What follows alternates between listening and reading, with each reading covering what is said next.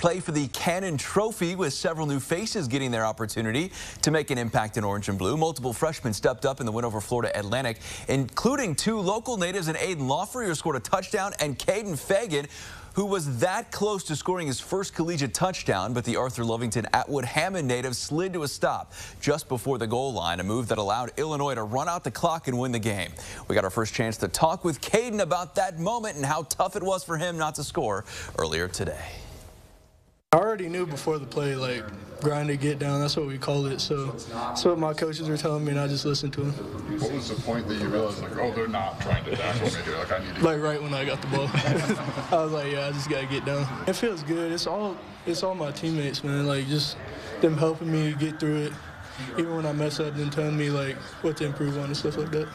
Feagin and the Illini head to West Lafayette Saturday to face Purdue. 2.30 in a game on Peacock. Remember, you have to have a subscription to watch that. And the Your Illini Nation pregame show will air on our digital channel starting at 1. Join me and Jeremy Warner live from West Lafayette.